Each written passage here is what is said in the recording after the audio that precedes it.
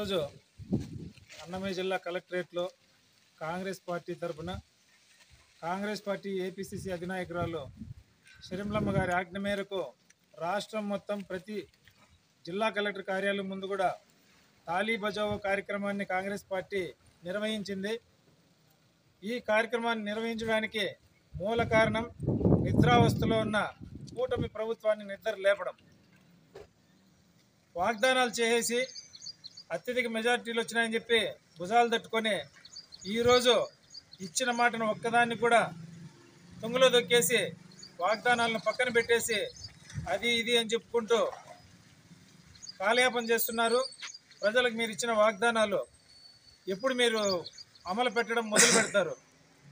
ఇకపోతే ఈ మధ్యనే ఇది మంచి ప్రభుత్వం అని గోడ పత్రికలో లేకుంటే అదేందో మొత్తము అతికించుకుంటున్నారు ఎక్కడ మంచి ప్రభుత్వం? ఎవరు చెప్పారు మీకు మంచి ప్రభుత్వం అని?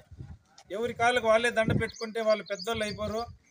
మీరు మంచి ప్రభుత్వం అనేది ప్రజలు చెప్తే కానీ అది మంచిదా చెడ్డదా అనేది మీరు తెలుసుకోవాలి కానీ మీ అంతకు మీరే ఇది మంచి ప్రభుత్వం అని చెప్పి పోస్టర్లన్నీ అతికించుకుంటా గోళ్ళకు పోతా ఉంటే అది మంచి ప్రభుత్వం అయిపోదు.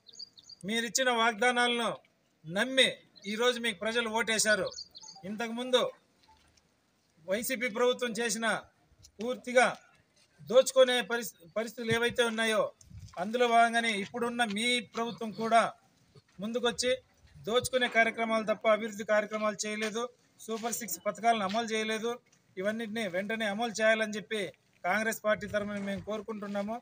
అలాగే ఇప్పుడున్న పరిస్థితుల్లో సూపర్ సిక్స్ కాక చాలా వాగ్దానాలు ప్రస్తుత ముఖ్యమంత్రి గారు చేయడం జరిగింది.